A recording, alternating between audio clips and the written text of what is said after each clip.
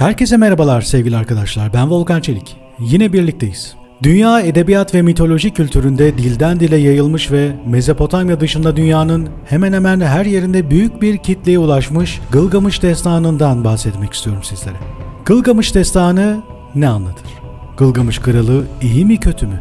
Kral Gılgamış ve en yakın dostu Enkidu arasında nasıl bir dostluk vardı? Edebi anlamda bu destanın savunduğu tez nedir? Diğer destanlarla benzerlikler taşıyor mu? Peki Kral Gılgamış nerede yaşıyordu? Diğer taraftan bu destanda Anunnakilerden bildiğiniz Anu, Enki, Aruru, İştar nasıl oluyor da bu destanda karşımıza çıkıyor? Gılgamış Destanı'nın birçok ülkede filmi, dizisi, tiyatroları ve çizgi filmleri yapılmıştır ve oldukça da yaygındır. Elimden geldiğince özet olarak ele alacağım bu konu içinde sorularınızın cevaplarını bulabileceksiniz. İsterseniz başlayalım.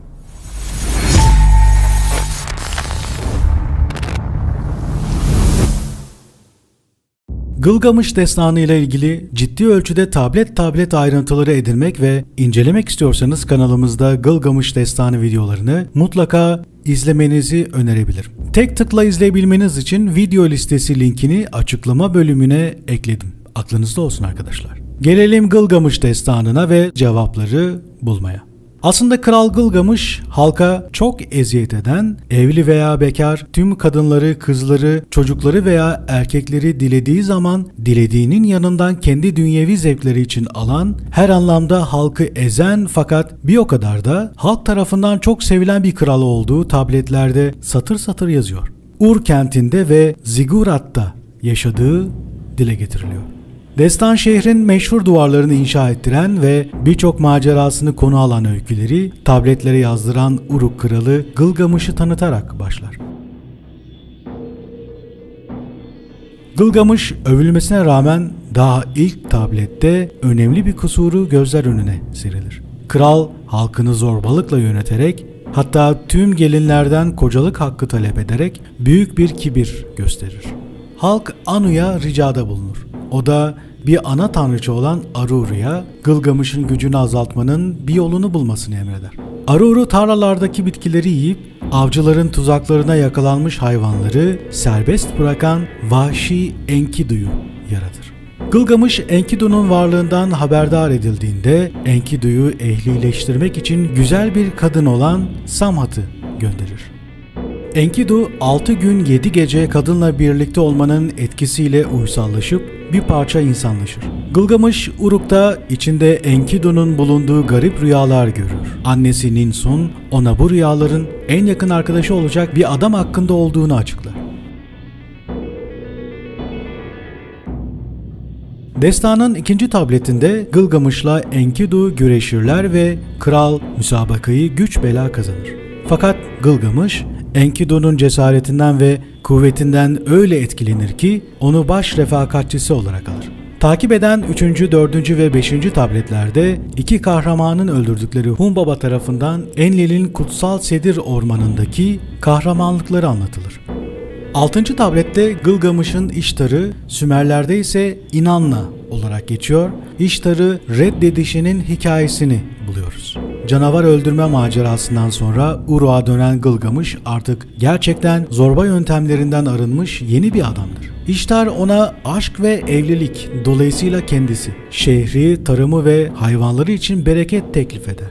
Birçok tanrıçanın eski aşklarının trajik sonlarını bilen Gılgamış, ana tanrıçayı küstahça reddeder. Daha önce kendisine hiç böyle davranılmamış olan İştar, Anu'nun gökyüzü boğasını Gılgamış'la Enkidu'ya ve Uruk halkına saldırması için gönderdir. İki kahraman gökyüzü boğasını öldürmeyi başarana dek yüzlerce kişi ölür. Günümüzde bu olayın bir metafor olduğu dile getiriliyor. Bu boğa muhtemelen salgın bir hastalığı anlatıyordu. Devam edelim. Son bir hareket olarak Gılgamış canavarın bir budunu kesip İştar'a fırlatır. İştar'ın reddedilmesi özellikle o Uruk'un şehir tanrıçası ve koruyucusu olduğu için alışılmadık bir şeydir. Krallarla tanrıçaların kutsal evlilik yöntemi eski Sümerler döneminden beri Mezopotamya kültürünün temelini oluşturuyor.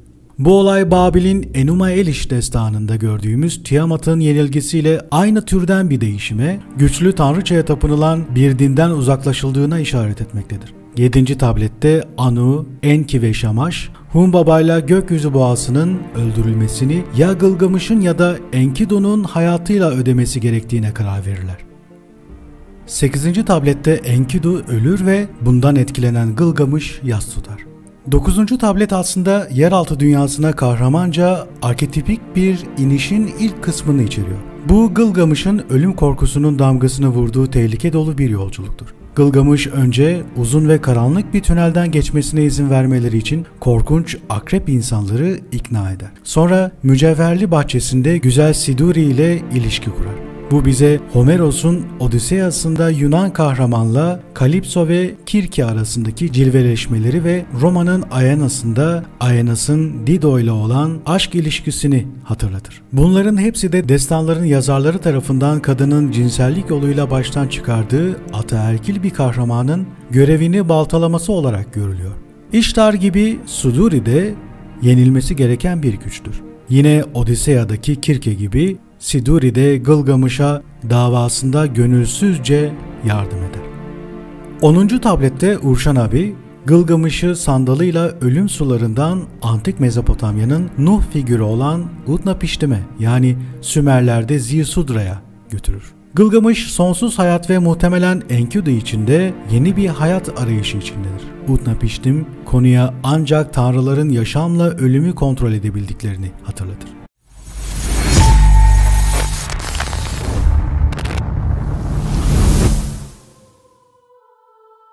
11. tablette birçok bilim insanının belirttiği gibi kutsal kitaplarda anlatılan Nuh tufanıyla dikkati çekecek kadar benzer olan tufan mitini içerir.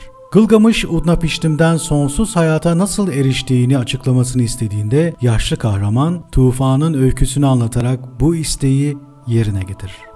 Enki Şurupbak'taki Utnapiştim'le karısına gelip bir tufanın insanlığı yok etmek üzere olduğu uyarısını yapmıştır.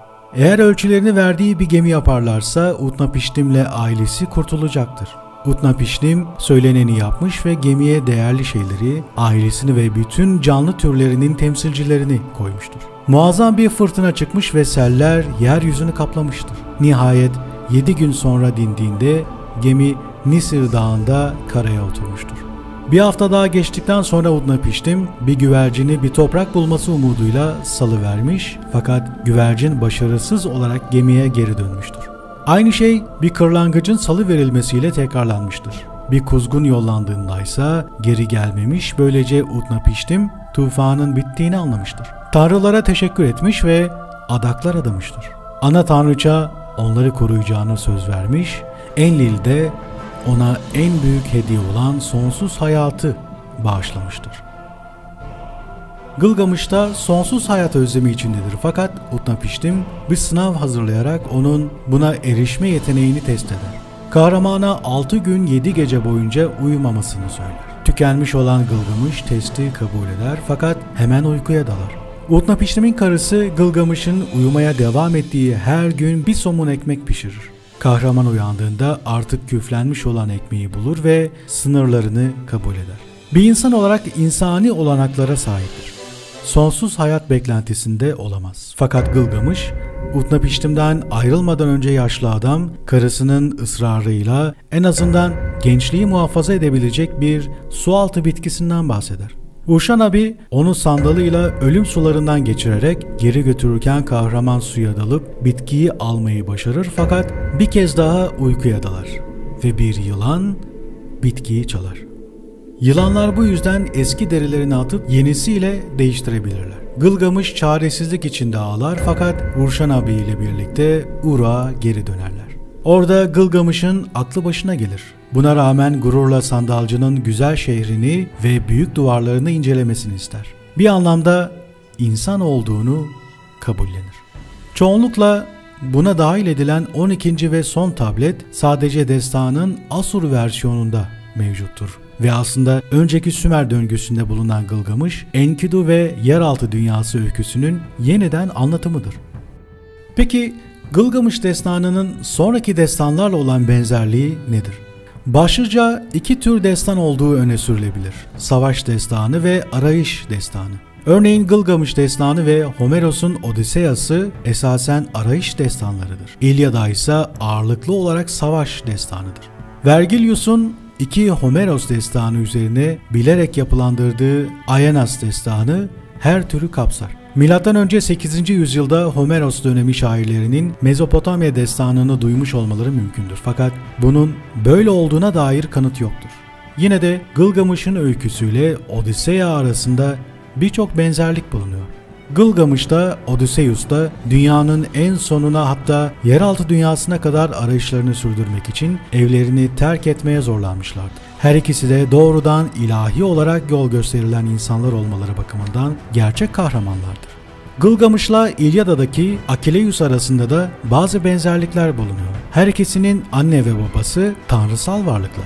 Her ikisi de erkek arkadaşlarına bir dosta duyulacak sevgiden daha fazla sevgi duyar, en önemli eylemlerini o arkadaşlarının ölümlerine tepki olarak gerçekleştirirler.